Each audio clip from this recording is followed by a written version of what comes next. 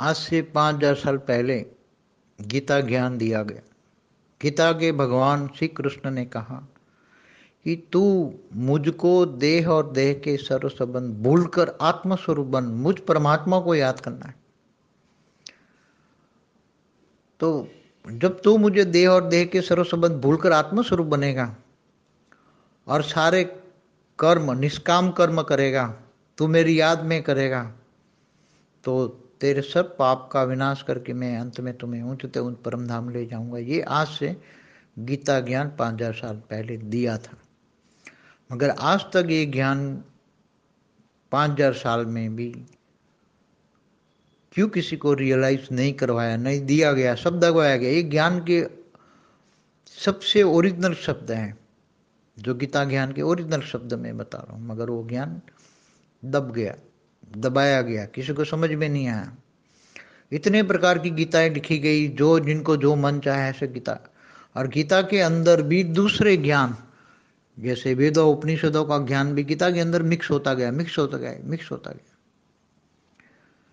तो गीता के अंदर जो विराट रूप भी दिखाया था कि वो ब्रह्मा, विष्णु, शंकर का भी रचयिता है। विराट रूप, माना बेहद का।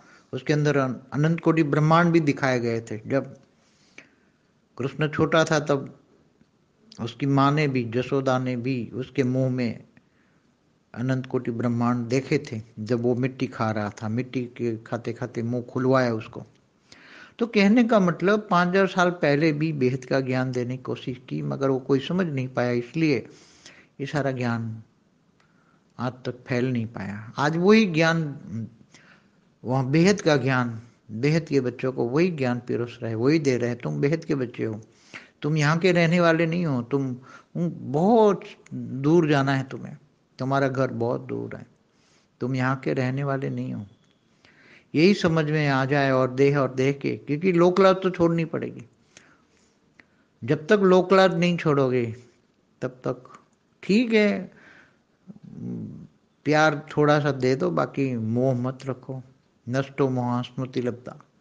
बहुत मोह में फंसते जा रहे हैं, मोह में फंसते जा रहे हैं। नष्टो मोह स्मृति लब्धा।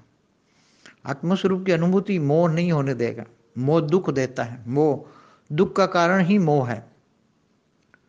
नष्टो मोह नहीं बनोगे तो आत्मस्वरूप की अनुभूति नहीं बनेगी और आत्मस्वरूप की अनुभूति नहीं होगी। तो परमात्मा से पावर नहीं आएगी और परमात्मा से पावर नहीं आएगी। बेहद की पावर हाउस से कनेक्शन नहीं होगा तो बेहद की कला की पावर नहीं आएगी और बेहद की कला की पावर नहीं आएगी। तो आत्मा कर्मातीत अवस्था की ओर नहीं जाएगी और आत्मा जब कर्मातीत अवस्था की ओर नहीं जाएगी तो ये कर्म बंधन सामने आएँगे। तो वो कर्म बंधन सामने आएँगे तो कर्म तुम्हें रुलाएँगे। तब कहेंगे, मुझे क्या मिला? बाप तो केवल ज्ञान देता है, तुम्हें आत्मा में पावर लेने की विधि बताता है, एक सीधी सी विधि है। तो आत्मस्वरूप बन, मुझ परमात्मा को याद करिए, पाँच हज़ार साल पहले भी कहा था, आज वही बात कह रहे हैं। फ़र्क इतना है कि तुम्हें बेहद की प्राप्ति करनी है। यहाँ ये देते हैं कि तुम्हें एक सौ आठ को बेहद के विश्व को मालिक बनाएँगे। ये जो बीके में है, वाणी में बताया गया है बीके पी के होकर आए, इनको वाणी में बताया गया है। कि बेहद का बाप आकर तुम्हें बेहद के विश्व का मालिक बनाते। केवल 108 को। और नहीं, एक हज़ार आठ भी नहीं 108 और वही 108 अगर पुरुषार्थ नहीं करेंगे, बेहद के विश्व का मालिक नहीं बनेंगे, कर्मातीत अवस्थाओं की ओर नहीं जाएँगे तो फिर समय तो उनके आधार पर ही चलता है 108 के आधार पर ही समय चलता है। इसलिए समय को समाप्त करना है, कर्मातीत अवस्था जाओगे तो समय समाप्त हो जाएगा।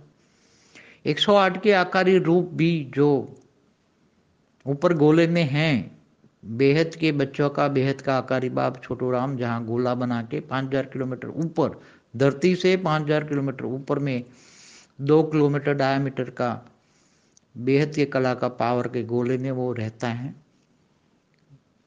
छोटू राम भी रहता है, उसके साथ 108 भी रहते हैं 1008 भी रहते हैं। वो सब ऊपर से गोले से सबको इंक्वायरी कर करके देख रहे 108 भी देख रहे हैं कि मेरे 108 साकारी रूप कहाँ है? एक हज़ार आठ भी देख रहे हैं कि मेरे साकारी रूप कहाँ है। तो 108 और एक हज़ार आठ का इंतज़ार है। वो आकारी रूप भी इंतज़ार कर रहे हैं। अगर उनको मिल जाएगा तो अंत में 108 की माला बन जाएगी। तो वो उनको दिख जाएगा कि 108 है तो वो 108 में प्रेस कर जाएँगे। तो 108 प्रेस करके बाप का रूप धारण कर गए अंत में उनको भी बाप का ही रूप धारण कर दिया आज भी वहाँ बैठ के छोटू राम ने भी ऑलमाइटी अपने बाप का रूप धारण कर लिया। छोटू राम भी अपने बाप का रूप धारण करके बैठा हुआ है। 108 हो 1008 हो, वो भी बेहद ऑलमाइटी का रूप धारण करके याद करते हैं, क्योंकि इनको पता है कि चित्र में विचित्र को याद करोगे तो चरित्रवान बनेंगे। और प्राप्ति भी उन्हीं से होगी। याद उन्हीं को किया जाता है जिनसे प्राप्ति हो। तो तुम्हें बेहद के विश्व का मालिक बनना है तो प्राप्ति जिनसे करनी उनको याद करोगे या दूसरों को करोगे? गीता में कहा है कि तुम जिनको याद करोगे उसी को पाओगे। तुम भूतों को याद करोगे, भूतों को पाओगे। विकारों को याद करोगे, विकारों को पाओगे। तुम मुझे याद करोगे तो मैं तुम्हें बेहद के विश्व की बात सही दूँगा। तो याद उसी को किया जाता है। अगर ज्ञान में निश्चय बुद्धि है, निश्चय बुद्धि विजंती है। तो योग बल इतना हो कि आत्मस्वरूप की अनुभूति होते ही दूसरों को भी परम सुख देंगे, परम सुख, परम शांति का अनुभव कराएँगे और बेहद की प्राप्ति कर लेंगे। ये बेहद की प्राप्ति का समय मैं बार बार कह रहा हूँ, समय को अब मत गंवाओ। ये बेहद की प्राप्ति का समय जा रहा है। अपने सीट पे सेट हो जाओ। 108 को बार बार कहते हैं कि अपनी सीट पे सेट हो जाओ। अपनी सीट पे सेट हो जाओ।